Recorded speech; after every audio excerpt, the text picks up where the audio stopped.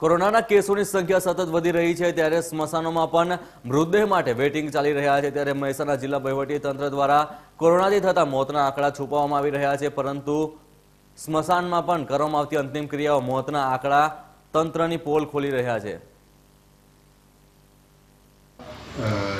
અઠવાડિયાથી કોરોના અને કુદરતીના બહુ વધારે પડતા કેસો આવે છે.